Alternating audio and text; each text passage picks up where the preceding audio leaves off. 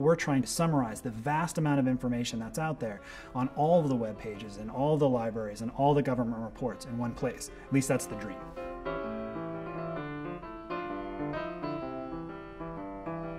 My name is Chris Ré. I'm a professor at Stanford University in the Department of Computer Science.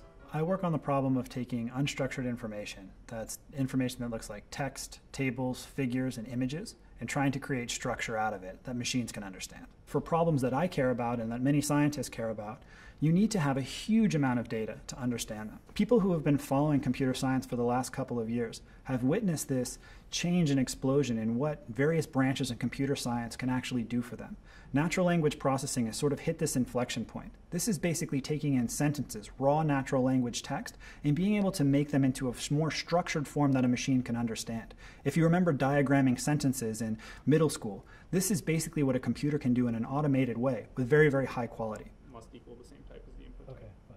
And then you just plug in, DeepDive was a project that we started a couple of years ago, basically in response to what we called macroscopic problems. These are problems where the information for a particular analysis is out there scattered throughout the literature, and we wanted to bring that information into one place. DeepDive is what we call a dark data system. What this means is that it's going from this unstructured information, text, tables, and figures, to this structured information, a structured database. Now, if you imagine trying to tell a computer how to go from that unstructured information to that structured information, you'd imagine that you have to basically program in a bunch of choices. You have to tell the computer when it looks at a particular character, is this character part of a word or not? Is this word actually referencing a rock formation, let's say, that I'm interested in, or not? You have to make a series of these choices.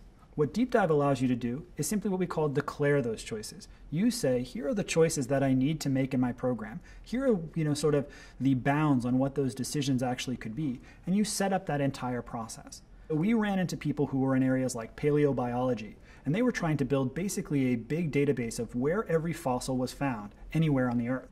Another place that it's used is in things like genomics. We have a collaboration ongoing here with Stanford Hospital where we're actually reading the literature about different uh, associations between genes and diseases and trying to put that information all together to try and potentially diagnose rare diseases.